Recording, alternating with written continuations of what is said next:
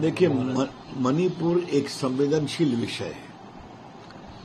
वहाँ पर सबको मिलकर शांति का प्रयास करना है। राहुल गांधी इसका राजनीतिकरण करते हैं।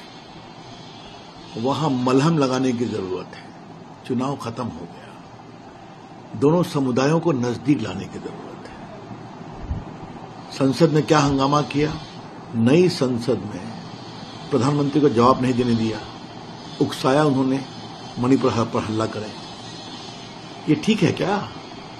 अब राहुल गांधी विपक्ष के नेता हैं। उनसे कुछ जिम्मेवारी की अपेक्षा की जाती है। ये मैं ज़रूर कहूँगा। वहाँ पर अमित शाह जी कितने दिन रहे? वहाँ राज्य गृह मंत्री नित्यानंद राय कितने दिन रहे?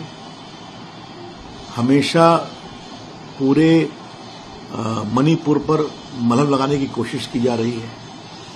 जब भी चीज़ें ठीक होने की कोशिश होती है, क्या राहुल गांधी तनाव बढ़ाने का काम करते हैं? ये ठीक है क्या? ये हम कहना चाहेंगे।